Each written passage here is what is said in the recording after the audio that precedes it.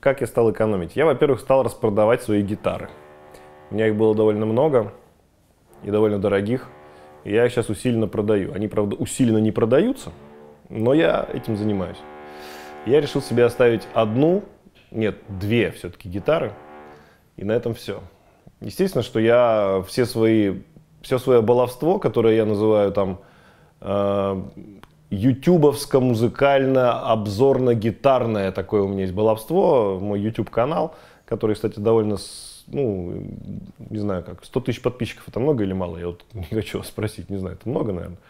А, я раньше как-то вкладывал в него деньги, я там покупал какое-то оборудование и развивал это свое направление. Сейчас я перестаю полностью туда что-либо вкладывать, и вот это вот моя экономия. А что касается жизни, ну, на детях я не экономлю, на еде не экономлю детям. Вот. Сам стал иногда забегать в Макдональдс. Наверное, это и есть экономия. Но если что-то надо реально, то мы напрягаемся и это делаем. Я имею в виду в финансовом плане. Как, собственно говоря, и, наверное, любой человек в режиме кризиса. Мы сейчас долго, все говорят сейчас кризис, надеясь, что он пройдет, потому что кризис это всегда нечто временное кризис заканчивается, как любой процесс. А мне кажется, что это не кризис, это новая реальность. Она может не закончиться никогда. Поэтому надо к ней не то что привыкать, а жить в ней уже и не обращать на это никакого внимания.